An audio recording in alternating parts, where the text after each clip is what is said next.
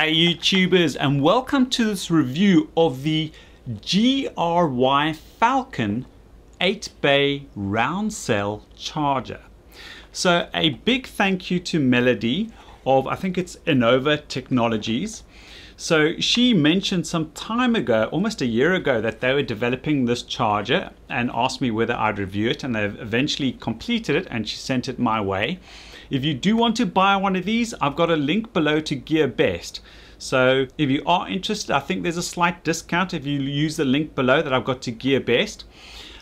But this is a, first of all, obviously multi-bay, multi-technology and multi-size round cell charger. So it can charge nickel metal hydride, nickel cadmium, lithium ion, lithium iron phosphate, and all the lithium battery sizes. I'm going to put a little annotation here showing you the different sizes that it can do. On the back, it actually notes that it can do, I'll mention here, it can do AA, AAA, it even mentions C cells and D cells. Now, definitely not D cells. I, in their manual, they don't mention that, so I think it's a misprint on the back of the one that I've got. And with the C cells, there's an issue, there's a caveat, which hopefully they can make a design change because it would be nice if it could do C cells without any issue. But I'll show you the issue there. It's to do with sizing and contacts. But what I'm going to do, I'm going to demonstrate how it works. There are a few quirks with this. It's a manually operated device compared to the other charger that I previously reviewed where you can put a cell in and it will almost automatically start. This one you set up manually, which I don't think is a bad thing. It means as long as you know what you're doing, you're not going to have any mistakes. You manually set the voltage and the current that you want to charge at and then you hit the button for it to start.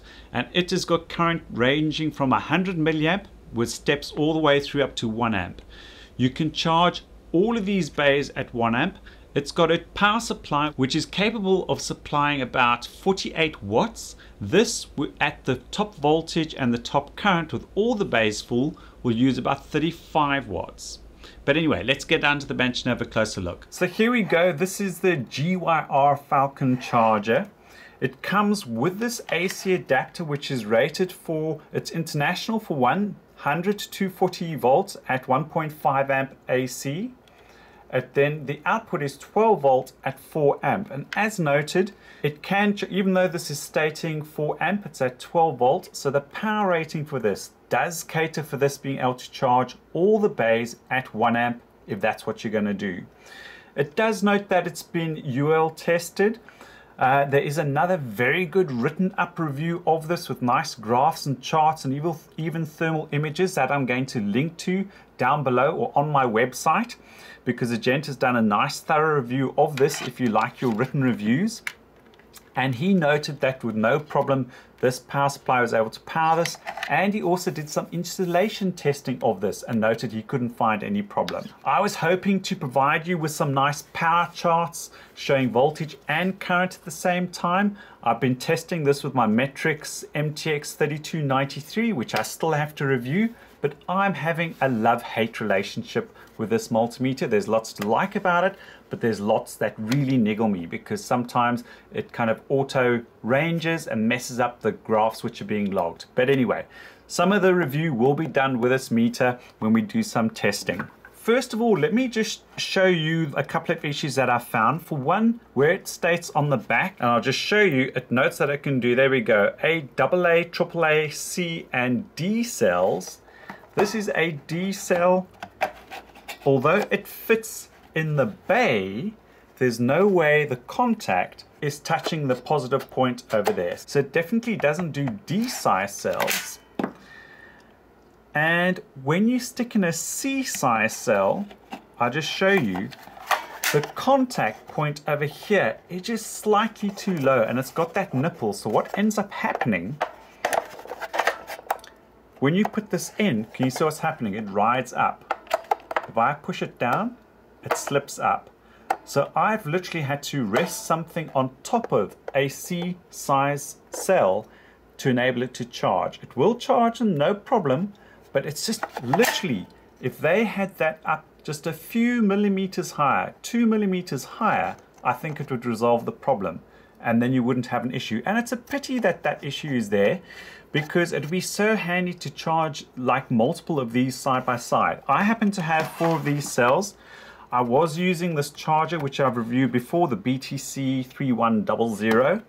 And this, even though again, multi-chemistry, multi-size cell charger, this cannot have two C cells next to each other. So if I put two next to each other, you can, it pushes one to the side.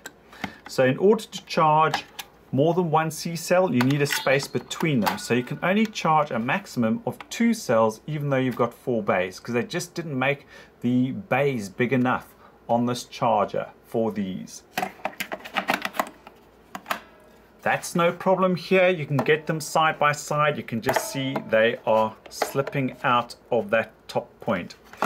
They do note in the manual as well, you need to be careful with thinner cells because you've got a lot of area for movement over here. So if I put a thinner cell, whether it's a double A or let's say this uh, 14500, when you put it in there, if you don't align it, you're not going to be lining up with the positive charge point over there. So you have to carefully put it on, balance it, but once it's there, it'll stay there and charge without a problem. It's just that you need to line it up. And when I get it powered up, you'll see unless you've got it lined up, you will get you're going to have some indication up here whether you've got it incorrectly or not. So here we go, just to demonstrate that it can fit all these various different size cells in here. I've got various sized uh, lithium, lithium iron phosphate. The two on the side here are lithium iron phosphate. We've got uh, two lithium cells. I've got nickel metal hydride, AAA, AA, C size. And you can see where the lights are flashing here. That means it's detected that you've got something connected. So if you didn't have something connected properly, if I push one to the side, you'll see that the uh, blue flashing LED stops. And as you'll note with the two C cells here, Unless I push them down, there you can see the LED is flashing, but if I release it, it clips out. Such a small little manufacturing fault. I hope they can correct it but because it does add a lot of versatility if you can do all these sizes with no problem. The one thing I'll just point out during this video, glare is a bit of a challenge and especially when I've got meters on the side because the text on this is relatively small. It's not too bad when you pull it up and look at it a little closer. The one thing you're going to notice straight away, especially as I pull this up, the LCD, because the contrast and the angle, when you're looking at it straight on, you're not getting the best contrast. In fact, you'll see you'll probably be really disappointed looking at the display from the angle that the camera's looking at it now.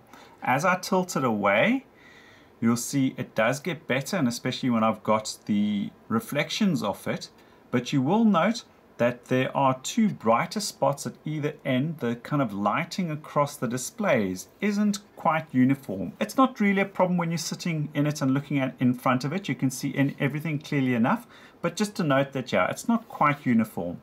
I'm going to turn down the lighting just so you can get a better impression of what it looks like. So if I turn off my overhead bench lights and you look at this, and then if I bring you closer into, I'll bring you into one of the ones which is more dimly lit just so that you get an idea you'll see that it's not that bad. And that's kind of what you see with your eye when you're looking at it.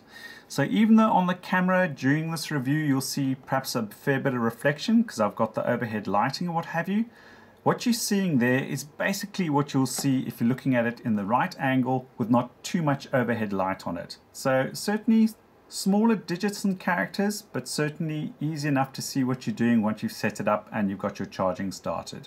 So here we go, I managed to get the lighting set up so we avoid too much contrast and you can see this nice and clearly. So the little annotations here, you've got a little battery which you'll see moving along indicating that you've got charge happening. You will have a time indicator to show how long the charge has been going on for.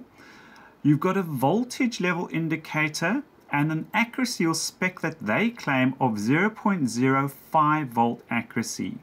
Now that should be okay for the most part. I've noted during my testing that it can be outside of that uh, by a little bit margin. It's not quite linear. It seems to get more accurate as you get to the top end of the cell voltage level, when in some cases then it becomes spot on.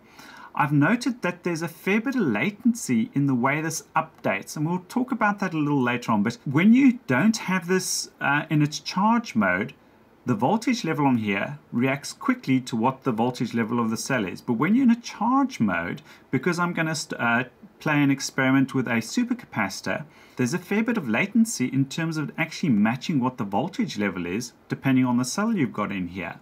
And it doesn't go down. Now, I say that, I picked this up because I was playing around with a supercapacitor. When I dropped the voltage on the supercapacitor, because I wanted to see if it was going to top up, if it drained while it was in the charger, this doesn't go down for a long time. Now, in the real world, that's not going to be an issue because you're charging a cell, your voltage level is going up, not down, but just something to note. You then got this indicator noting your technology, whether it's nickel metal hydride or nickel uh, cadmium, it can also do. And then you've got lithium ion, you can do lithium ion phosphate. This you don't set. This will be set depending on your voltage level. As soon as you step up from the 1.5 volt here up, it's automatically going to go to lithium ion, which makes sense. And over here, this chart over here, this is your current setting from 100 milliamp to 250, half an amp, one amp. Now I will make a note here, you'll see that these are the terminating voltage levels. So these aren't the actual voltage levels of the cells. So for instance, this rechargeable AAA cell is a 1.2 volt cell, that's its nominal voltage, but of course its top end charge voltage is about 1.5, 1.6. And same for the lithium technologies, this isn't their nominal voltage level, this is the top charge level. So one, I would perhaps argue that it might have been a bit more user-friendly to put the nominal voltages here, so it's far easier to set. But then perhaps someone who's got a bit more experience might want to be dead sure and know and understand what the terminating voltage level is, and in which case then you've got these straight here. So I'd say you always want to double check when you're putting a lithium cell here in particular that you know exactly what the terminating voltage is so you don't get that wrong and perhaps damage it because overcharging or, over, or discharging a lithium cell means you could kill it very quickly.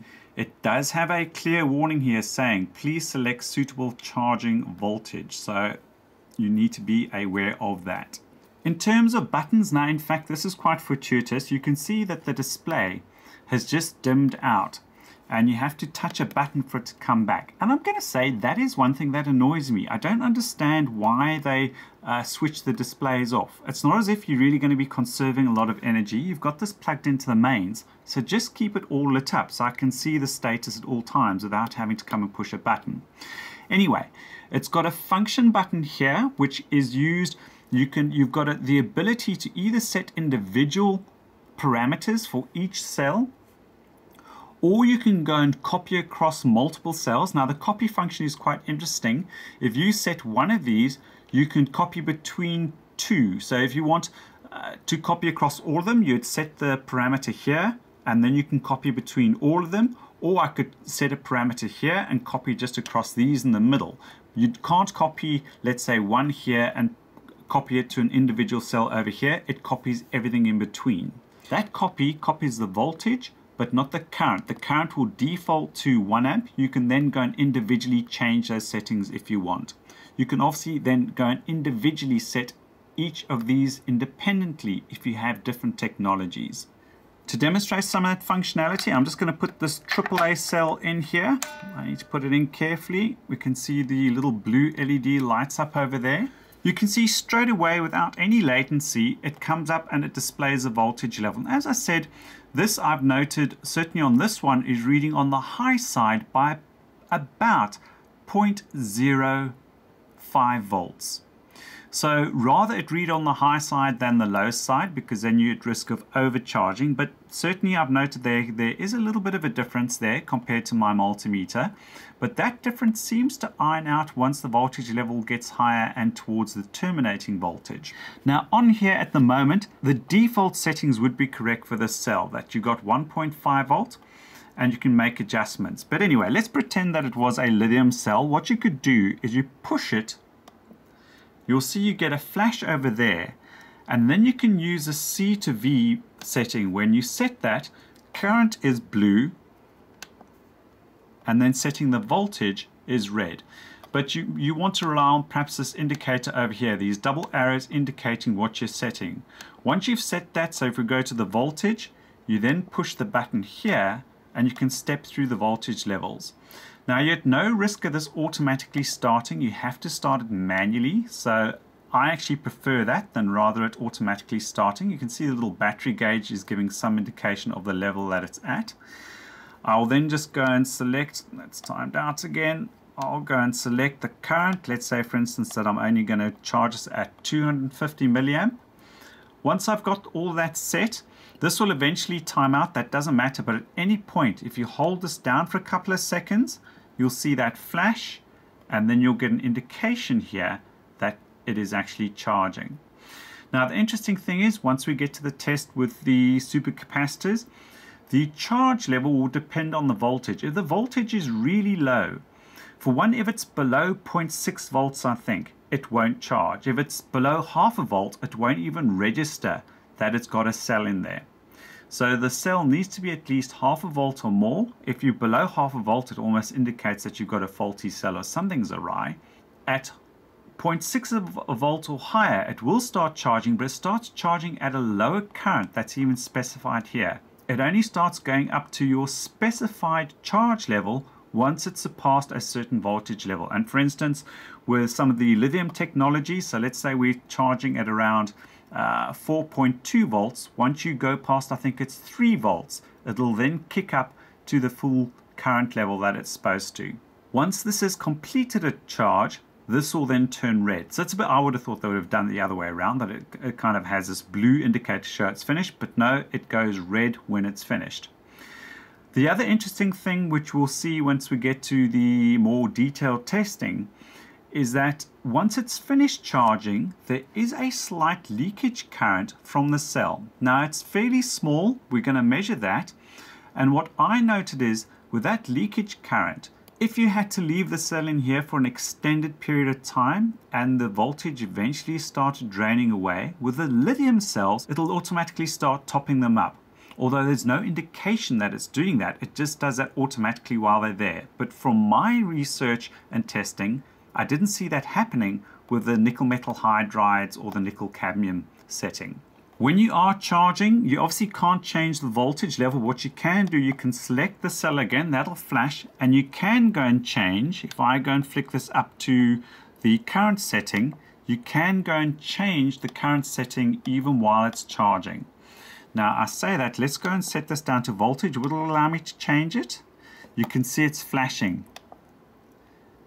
Let's just see if it goes and sets it on that. I don't think it will. And no, it times out and it comes back to what I set it at, which is what it should do.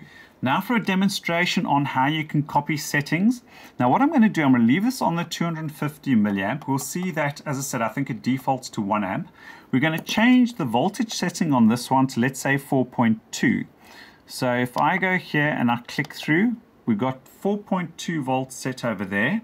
It'll eventually time out and it's set there ready for that you'll see these ones, if I wanted to match that, what you do is you click, I think, and hold this one, and then click the one that you want to go to. You see they all start flashing, and when I release them, you can see they're all at 4.2. So it's gone and reset all of them. Another interesting thing to note there, it has actually copied the current settings as well.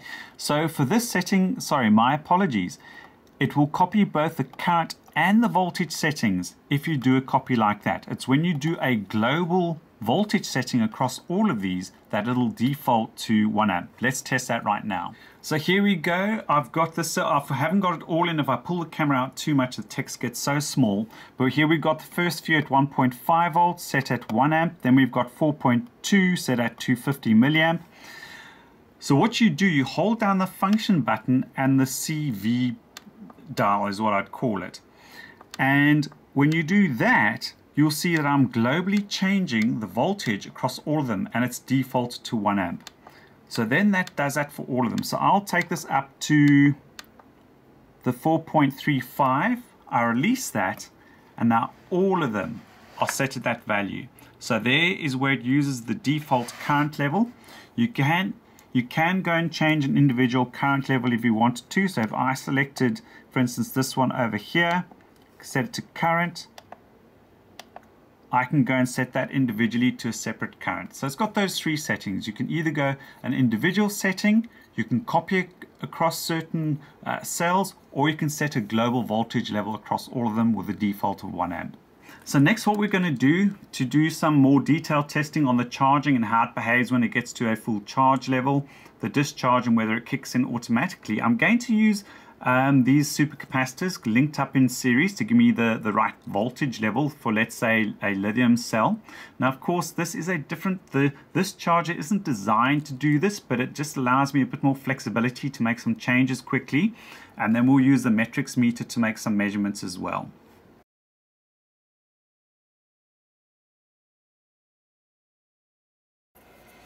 And here we go, even though I've gone and adjusted the current up, I've gone and set it up to about half an amp on the charger.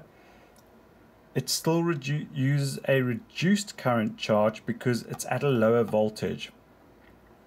So once it gets to a certain voltage level, it'll then bump the current up to do the proper charge. Because the voltage level is so low, it's programmed basically to use less current. The voltage level is certainly not too far off if we do the comparison, considering there is a little bit of latency in the volt reading on the device. So this is the voltage reading which is across the uh, two supercapacitors in series. So here we go, please excuse some of the glare. I just want to show you just after reaching 3 volts it jumped up to half an amp. So I'm going to slow it down so we don't have the issue with latency. So what I'm going to do is drop this down to a charge current about 100 milliamp. There we go. So you can see it's gone and dropped down. So I'm just doing that so we don't have the issue with the latency and we can see whether this gets to the right voltage or not. And there's just a little better view. I've there's a change. I did have it at half an amp. I've taken it down to 100 milliamp and we'll see how it goes up to the target voltage which is set at 4.2 volts. We want to see if the current trails off. And then we want to see if it, after a little bit of discharge, will it automatically start charging again to bring the voltage back up. And the moment, just out of interest, with that latency, you can see this is saying 3.79 when we've actually got 3.43. So sorry, I know the text is really small on this. It's difficult to try, try and film it. But I'm keen to see now that I've slowed down the charge current, whether the latency catches up and whether we're going to get a, a correct reflection. From what I've seen, this doesn't come down readily to a lower voltage measurement once it's gone up. So I'll just note this over time and I'll bring you back in once it's had time to catch up. So here we go, just as we're approaching kind of again the top end, you'll see here it has now moved up to 382. It never came back down. So it's funny, it's got a bit of latency and it doesn't readily come back down if there's a lower voltage. Now in the real world situation, your battery voltage or your cell charge or your cell voltage that you're charging isn't going to come down. Uh, but it's just interesting to note that it stays locked there until the cell catches up. In this case, because I got the supercapacitor, it bounced up too high and then it came back down low. I was able to pick it up. Under normal circumstances, you wouldn't see that, and potentially it's not really an issue. But anyway, you can see there's a, certainly a slight error here, slightly greater than the tolerance level that they're quoting, uh, 3.78 versus the 3.84 but we'll track it to the finish and at the moment it's still doing about the 100 milliamp. So we are getting very close to our 4.2 volt target, still charging at a rate of about 100 milliamp and we're certainly not too far off the uh, voltage that's being displayed. There we go, we're slight because we're at 4.05 we're slightly outside of the spec that they quote of being 0.05 volt out. What I'm intrigued to see is even though I am charging a supercapacitor, which of course is a very different chemistry, if you will, and charge rate to the normal cells that would go in here, I'm intrigued to see whether there's going to be this latency issue whether it is going to stop at around 4.2 volts or go above. Because in my previous tests when I've been using supercapacitors it's overshot that by quite a fair bit. That's why I'm only charging at 100 milliamp. So let's see how it does as it approaches that mark. So there we go. It's hit 4.2 I would expect it soon to go from constant current to constant voltage. So it should hold that voltage and start dropping off the current. So let's see how it behaves. And there you go, it's actually doing what it's supposed to do. So we can see the current is slowly dropping off and it's maintaining that 4.2 volt. I mean, I wouldn't be surprised if it skipped just slightly above that because of the supercapacitors are going to be more willing to adjust far quicker than the other chemistries that you charge in this device. But so far, it's holding steady. So I'm going to let it continue till it finishes and then we'll note what the current drain is because I've certainly noted that once it's finished ch charging there is a slight leakage current from the cell in there and what I want to see is if I then let's say I'm going to put it connected to my electronic DC load slowly reduce the voltage and see whether the charger would kick in and actually top it up or whether the charger if you left it there for too long would end up draining the cell if you didn't remove it. And just as another interesting note, as we're again reaching the kind of end of the charge, you can see again the current is reducing. Our multimeter is getting far closer to the actual reading on the uh, charging device. So there we go, we've now hit exactly 4.2. So that error that's there certainly isn't linear. Uh, it depends on where you are on the voltage scale, but we're getting very close. I presume it's going to cut off soon then this little light will change from a blue to a red to indicate that it's finished a charge and then we'll continue with the tests. So here we go, we have just finished the charge. We can see it still says 4.2 volts there. We've got the little red light indicating that we finished a charge and that is the voltage indicated on the multimeter now that there's no current going into it. In fact, quite the opposite. This is the leakage current coming out of those supercapacitors, or if you had a cell in there. So another re reviewer noted this as well. So if you did leave these in there, there is going to be a slight leakage. So what I'm going to do as a next test is to attach a load, slowly drop the voltage, and see whether it'll automatically kick in and top it up, or whether it'll just slowly discharge over time. Right, so here we go. I'm just about to switch the load on. I've set it for about 700 milliamps, so you're not going to see that here. But okay, interesting. We're seeing 100 milliamp going back in. Now, the red light is on, but it certainly seems to be getting charge now that I've got it under load. So I'll tell you what I'm going to do. I'm going to slow down the draw and just confirm what's going on. Okay, so now I've actually gone and switched off my electronic DC load. So that is comforting to see. It's interesting to see though that it is actually putting charge back in. Just looking at the meter over here, we can see the voltage level is recovering. Although I say that's not being displayed, I said it's very odd. It, this doesn't go down very easily. I have seen in other testing, after a long wait, it then readjusted but there's nothing to indicate that it's putting current back in because the light here is uh, still in the red mode as if it's completed charging but certainly it's recovering. So what I'm going to do I'm just going to leave this for a while to see what it gets back up to. And at least we can say that even if you did leave a cell in here and the voltage dropped then certainly it would kick in and top it up again and there we go, we can actually see that it's tapered off the charge level again and brought it back up to 4.2 volts. Again, although there's no indication on the charger itself, but at least it's looking after the, the lithium cell if it's left in there. I, I particularly check this on the lithium setting because when I check this on the nickel metal hydride, there I noted that it didn't seem to kick in and do a recharge when the when the voltage dropped off. Now perhaps there it's not as critical.